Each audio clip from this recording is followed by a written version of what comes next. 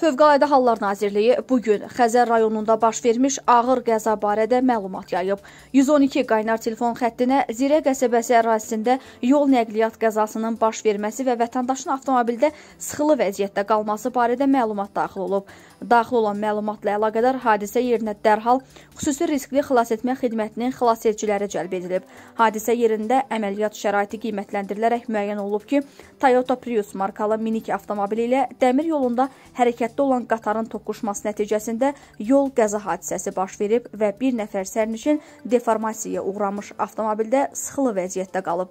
Xilasedicilər təhlükəsizlik qaydalarına riayət etməklə avtomobildə sıxılı vəziyyətdə qalan sərnişini xilas edərək təcili tibbi yardım briqadasına təhvil veriblər.